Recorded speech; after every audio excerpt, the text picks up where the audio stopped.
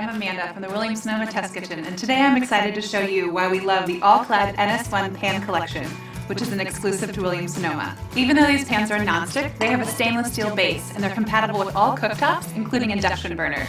Today I'm going to make a garlic spinach frittata using two of the pans from the NS1 collection. I've already got onions, garlic, and a little olive oil in this chef's pan.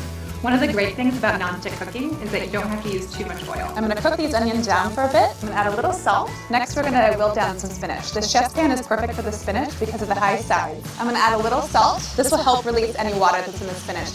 My spinach and onion mixture is ready to go into my egg mixture. Perfect.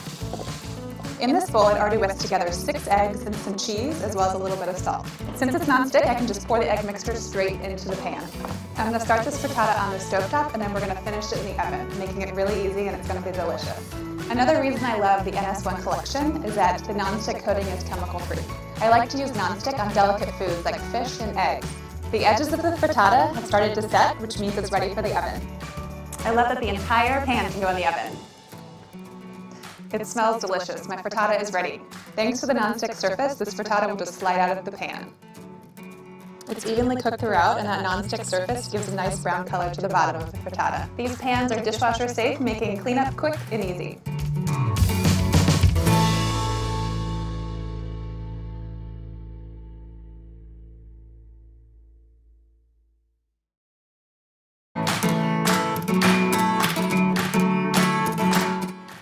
I'm from the